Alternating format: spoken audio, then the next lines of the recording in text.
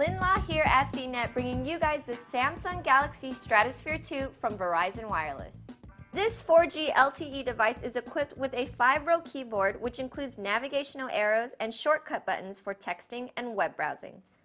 It has a 4-inch Super AMOLED touchscreen, runs on Android 4.0 Ice Cream Sandwich, and it features the TouchWiz interface.